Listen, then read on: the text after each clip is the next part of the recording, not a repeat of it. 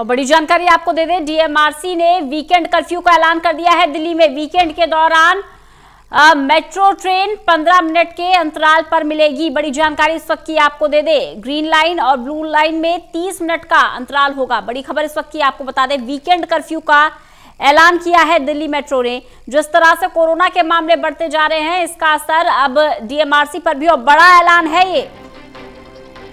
DMRC का बड़ा ऐलान वीकेंड कर्फ्यू के दौरान। मेट्रो मिलेगी, लेकिन बहुत देरी से मिलेगी।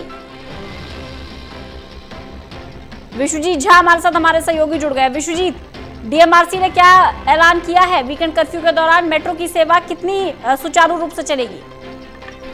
ये जो चूँकि एसेंशियल सर्विसेज़ चलनी है और इसलिए मेट्रो की सेवाएँ भी चलती रहेंगी। दोनों दिन, शनिवार और रविवार को मेट्रो लोगों को के लिए उपलब्ध होंगी, जो एसेंशियल सर्विस से जुड़े हैं। लेकिन इसकी फ्रीक्वेंसी थोड़ी कम होगी।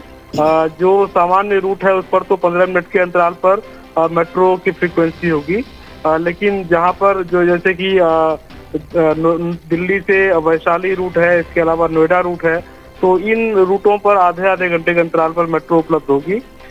लेकिन ये मेट्रो चलेगी। इस इस बात की तस्दीक की है मेट्रो प्रशासन ने।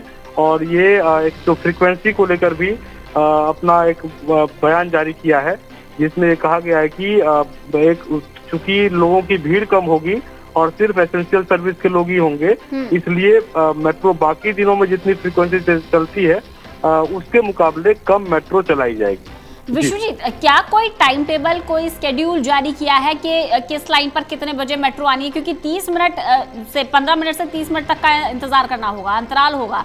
तो ऐसे में क्या कोई टाइमिंग्स के लिए जानकारी देने के लिए किसी तरह का कोई नोटिफिकेशन देखिए जो सामान्य दिनों में जिस जिस वक्त जितने जितने समय से मेट्रो की शुरुआत होती है और जितने बजे बंद होती है उसमें कोई फेरबदल नहीं किया गया है। हम्म। जो सुबह में जो चलने की टाइमिंग है और शाम में जो बंद होने की आखिरी जो मेट्रो की टाइमिंग है जो लोग मेट्रो में सफ़र करते हैं उनके लिए सूचना है कि उनके उसमें कोई बदलाव नहीं किया गया लेकिन फ्रीक्वेंसी जो बाकी वक्त में पूरे दिन भर जो मेट्रो चलेगी उसकी फ्रीक्वेंसी थोड़ी थोड़ी ज़्यादा ज़्यादा देर में आएगी।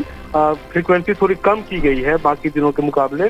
क्योंकि सिर्फ़ एसेंशियल सर्विस से जुड़े लोग ही जाने वाले हैं तो इसलिए भीड़ भी नहीं होगी और थोड़े अंतराल के बाद मेट्रो चलेगी तो उसमें मेट्रो को ज़्यादा खर्च भी नहीं उठाना पड़ेगा, क्योंकि जब लोग कम होंगे तो मेट्रो को ज़्यादा इसमें बोझ ना पड़े।